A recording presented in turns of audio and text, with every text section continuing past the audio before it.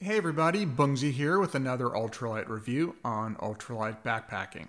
I know, a trail thermometer? Are you kidding me, Bungzy? I need a trail thermometer?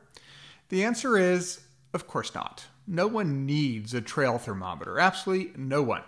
And yes, I know, I've heard it all already. It doesn't matter how light it is, Bungzy. UL is a mindset, a philosophy, it's a way of life take less things on your journey, regardless of the weight.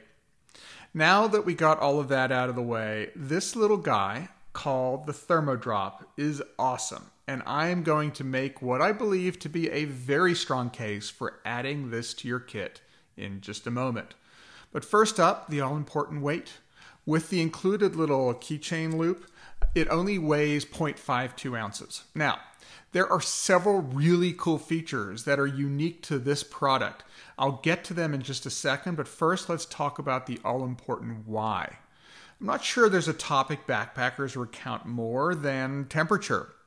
We talk about how hot it was, we talk about how cold it was, we talk about the temperature temperature while we were on the move during the day, and we talk about the temperatures reached while we were sleeping, and that's our favorite topic. We obsess about temperature. The only problem is that we're full of crap. We really don't know what the temperature actually was. We're like uh, fishermen talking about the fish that got away. The temp gets colder every time we tell the story. So, why do we care so much about temps? Here's my theory. Part of it, I think, is just well bragging. Yeah, we're making our case for an Outdoor Badass Award. But I think there's also a practical side to this as well. By tracking temps, we get a far more accurate feel for our own temperature sensitivities, which are all different, and the performance of our gear as we plan and pack for future trips. You can make the case that carrying a little half ounce thermometer, at least for some period of time, will result in you being able to dial in your gear and save weight over time. And not just a little. Fear of the cold is arguably the biggest contributor to carrying excess weight. We overpack with sleeping bag weights, clothing, jackets, etc. So this little half ounce penalty will save you a half pound or more down the road as you dial in your kit. And besides, it's also fun. I guarantee that if you hike with friends and carry this little guy, you will be asked for the temp more often than you probably want. Everybody wants to know the real temp. Even the UL Aristotle writing a thousand word critical essay as I speak, telling me about the real meaning of ultralight in the comments below. Even they will sheepishly ask for a reading. Okay, so why this particular thermometer? What makes it great? First up, a unique feature I love is that it automatically tracks the temperature range. Why is this valuable? Want to know how cold it got last night or how warm it got during your hike? Just leave it on it tracks the high and low over any period of time.